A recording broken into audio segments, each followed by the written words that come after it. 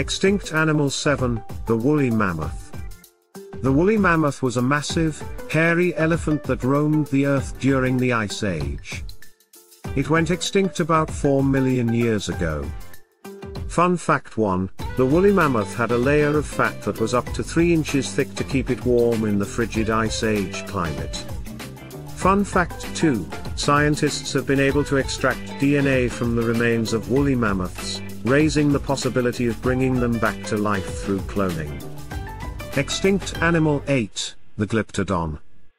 The Glyptodon was a giant, armored mammal that lived during the Ice Age and was about the size of a Volkswagen Beetle.